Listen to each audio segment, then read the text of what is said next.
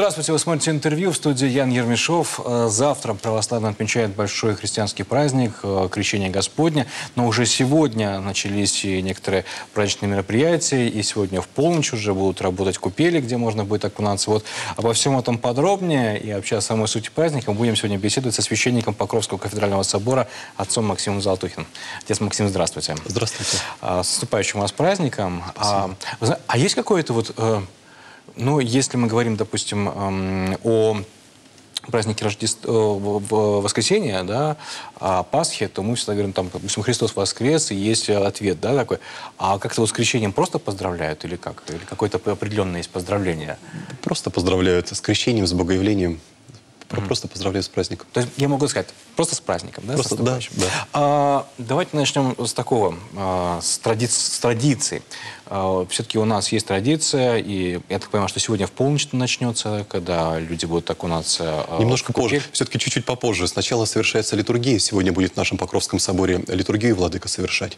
И уже после литургии совершится освящение вот во сколько это примерно? Ну, ориентировочно по времени где-то, я думаю, около половины второго, около двух часов, наверное, так, не раньше. Mm. Да, после, после литургии освещается вода. Ну, в нашем соборе в Покровском, в кафедральном. Ага. А, а до этого э, входить в воду? Ну, там... все-таки все в воду входит только после молебна. Вот когда уже совершится молебен на освещение. Вот в тех купелях, которые будут специально для этого предназначены, те источники, сначала молебен. До молебна мы в воду не заходим. Угу. То есть в пол второго ночи. То есть вот... ну, это, это, это в кафедральном соборе. А вот по тем местам, которые сейчас пока согласуются еще, да, пока на сайте епархии они появляются, уже те места, где можно будет купаться. И э, всю информацию о том, где эти купели будут, надо смотреть на сайте епархии. Они mm, согласуются есть, с МЧС. То есть на сайте епархии э, есть информация, где купели работают. Да, Мы да. говорим именно об официальных, потому что так или иначе да. понятно, что это большое скопление людей, ну, должны смотреть э, лед, это все согласуется с сотрудниками МЧС, прежде всего из-за из безопасности. Поэтому лучше лучше самостоятельно какие-то там э, несанкционированно этого, этого не делать. Нельзя, просто нельзя. Просто нельзя. А где э, будут проруби, это уже смотреть на сайте епархии, потому как информация дополняется, и новые места согласуются, угу. и могут еще какие-то места добавиться. Точно э, уже известно, что на, в соборе Рождества Христова и, э, там будет э, стоять купель, где можно на правом берегу, да, на улице Кутузова-Щерса, Щерса-Павлова, ну, вы знаете, какой-то собор. Угу. И будут э, купили э, в, э, в Енисей, по-моему, недалеко от парка отдыха, по-моему, да, центрального. Да, да. Ну, точно адрес лучше посмотреть на сайте. Угу. Если... Ну, а в других городах и районах края там тоже вся эта информация существует, где можно, где все это уже будет освещаться. Да. А, ну, я так понимаю, что многим придется ждать достаточно долго для того, чтобы впервые... А есть такие люди, которые вот ждут, которые сразу после э, молебна идут? Так они стоят, прямо ждут, пока батюшка войдет, пока осветит. Я не забуду никогда эти минуты, когда еще был отец Федор Васильев, когда в Красноярске, на базахе, когда освещал, там казаки, они уже разделись, казаки стоят, все ждут, пока батюшка, они прям стоят в плавках и ждут, пока отец Федор осветит воду. И вот он только осветил, они туда прыгают, в, в, в эту воду. Есть определенный порядок все-таки погружения в эту воду. То есть не просто прыгнул. Не просто там окунулся и вы, вы, вы, выскочил, да? А как? А надо понять, что эти погружения, они э, грехи не смывают человеческие, не смывают. Грехи прощает Господь только в таинстве исповеди перед священником в храме, когда исповедуемся. То есть сразу это предупреждение хочу, рассеять. Мы погружаемся в воду с пением тропаря, богоявления. И во время пения этого тропаря мы стараемся совершить три погружения в эту воду. Когда погрузимся трижды, выходим, вытираемся полотенчиком и тихонечко, благодаря Богу, идем домой. Ничего больше делать там не надо. Не надо на воду ходить пьяным, не надо ходить туда, там, кричать, ругаться, свистеть. Надо понять, что это вода святая, это святыня. Как в храме мы идем себя тихо, благоговейно, так же и рядом с этой водичкой. Надо понять, что это святыня. Когда выходит священник, просит у Бога, и все молящиеся просят у Бога, чтобы Господь Духом Святым осветил эту воду, а после этого начинаем там материться и там и свистеть, и кричать, улюлюкать там. Но это, это нельзя делать так, это mm. плохо. Поэтому только с, с благоговением, с тишиной духовной, сердечной входим в эту воду благодаря Богу. То, что то есть, сначала, то, то есть даже есть какое-то специальное песнопение, да? Я, я если позволите, Пожалуйста. спою. «В Иордане, крещающийся Тебе, Господи, троическое явися поклонение, родители в Богла свидетельство ваше тебе, возлюбленного Тя Сына именуя, и Дух в виде голубине, известовше слави все утверждение, явлейся, Христе Боже, и мир просвещай, слава Тебе. Вот это небольшое песнопение, и за время него, а пока вот мы стояли, вся, вся братья поет, все поют, и кто-то один совершает погружение, погрузился, выходит, три, да, три погружения во имя Отца и Сына и Святого Духа, и следующий заходит. Вот и все. На самом деле все не так сложно. Ну, ведь э, я э, тоже разговаривал э, со многими священниками, с, с митрополитом, что все-таки это э, такая традиция, э, да, но она э, больше, больше все-таки такая мирская, скажем так, традиция. Она, ну, то есть и без этого тоже можно в крещении обойтись совершенно спокойно. Я правильно понимаю? Абсолютно правильно. Это далеко не самое главное в христианстве. Вот эти погружения, да. А, а что все-таки главное в этом? Христос.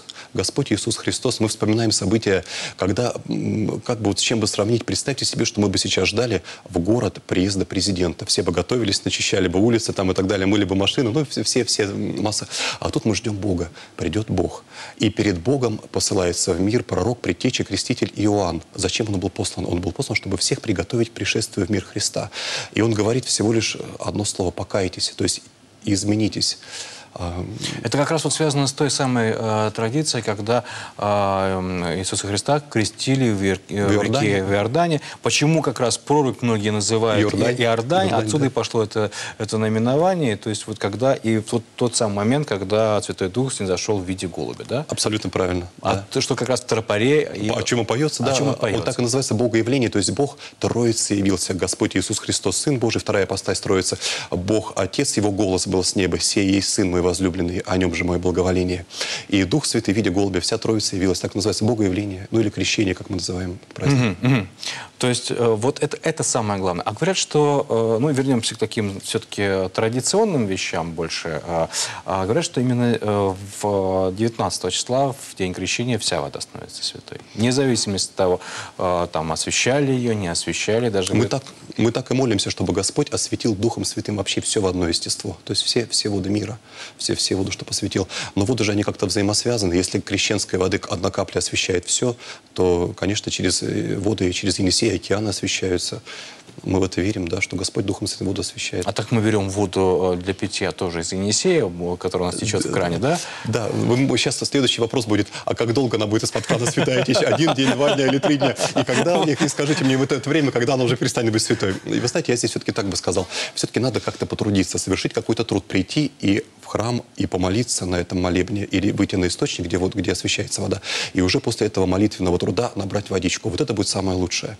А та вода, которую, конечно, если кто-то не может выйти из дома, кто-то уже прикован к постели, тот может просто, конечно, набрать, я думаю, из крана воды. Но обычно мы таким людям сами разносим водичку. Есть у нас. Вот а, как будет организована раздача святой воды? Дело в том, что опять понятно, что очень много будет людей. Они приедут с большим количеством различных там э, посуды и начнут ее заполнять. Здесь как будет организовано? Где это можно? В какое время? Как долго это можно э, получить? У нас в соборе будем раздавать и завтра весь день воду. И я думаю, что и в пятницу будем раздавать, пока будут эти люди. Я смотрю, год от года все больше и больше становится порядка в этом. То есть мы какие-то для себя делаем выводы, уроки э, получаем от этого, от того, что не получилось, может быть, в предыдущем году. И постепенно у нас что я помню, когда только вот эта традиция возвращалась, а, давка была. Давка Лю- да. Люди по головам практически шли для того, чтобы набрать. э, а Я У нас в думаю, соборе мы сейчас организуем раздачу с нескольких точек сразу же этой воды, чтобы было меньше. Но это, это же не так сложно. Во- Воды много, слава богу. Это, это можно э, в любом соборе, в любой церкви э, и Красноярска, и Красноярского края. Все будет, везде это будет происходить, да?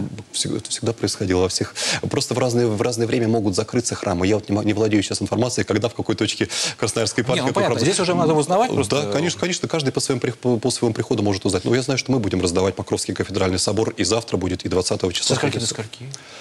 Понятно уже? Служба начинается в 8. Я думаю, что с 9.30 можно уже приходить спокойно. С 9.30 можно будет приходить уже за А, водичкой. Вот про 19 число хочу с вами поговорить. Какие будут, э, э, скажем так, мирским словом, мероприятия? Самое главное – великое освящение воды, которое будет совершаться после службы ночью. Но это будет уже, уже сегодня ночью совершаться. 19-го все-таки литургия будет в 9 утра у нас, да, поздняя. А 20-го в 8. То есть после службы уже можно будет прийти за водичкой. Э, Главные наши крещенские меропри- мероприятия – это все-таки, как и Вообще самое главное в нашей жизни – это божественная литургия, Евхаристия. Выше этого нет ничего. Чтобы ничто это э, литургию не затмило, не стало рядом, э, вот это я просто скажу, что это самое главное. Но если кто-то, допустим, понятно, что люди же еще и работают, кто-то не успеет, допустим, прийти 19 в 9 утра, да? Когда еще можно будет? 20-го. 20 Если и 20-го не успеют, в субботу, я думаю, что тоже никому водички не откажем. Пускай приходит 21-го. Да, а на саму литургию, чтобы попасть? На, На литургию. на- э, Одна литургия будет ночью, сегодня ночью. То есть даже работающие, даже очень... Люди, кому надо. Кому надо, кому надо, они попадут. Сегодня, либо завтра уже к 9 утра. А э, литургии, они будут совершаться во всех, так опять-таки, храмах Красноярского края? Конечно, конечно, это же, это же Во самое всех главное. церквах, служба. во всех храмах. То есть можно не обязательно прийти в кафедральный собор, можно и прийти в свою поместную церковь, да? и- Есть только одно исключение. Бывает такое, что есть очень много храмов по деревням. А они, например, приписаны к одному священнику. Он, конечно, в нескольких храмах не может послужить. Он будет где-то вот на главном приходе служить, а в остальные храмы потом во- водичку довезет, привезет это. Вот только в этих храмах не будет службы, где не хватает, где просто нет священников. Такие храмы тоже есть, называются приписные. А городские, конечно, храмы, все, где есть священники, все будут, должны быть службы, будут службы. Это будут большие, красивые. Большие, красивые. Настолько, насколько это возможно. Есть же деревенские приходы, где нет возможности, там настолько там э, А, роскошный ход. а крестный ход?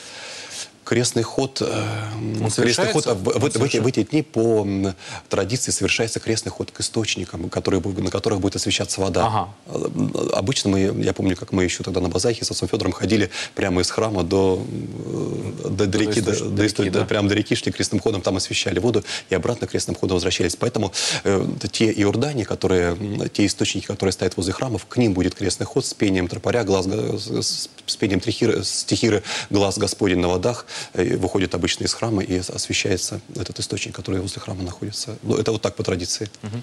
Спасибо вам большое за то, что пришли к нам сегодня в студию. Так все хорошо объяснили. Э, Еще раз поздравляю вас с наступающим праздником. Спасибо. Всего вам доброго. Священник Покорского кафедрального собора, отец Максим Золотухин, сегодня был у нас в гостях. Всего доброго. Ну и всех православных с наступающим праздником Крещения Господня.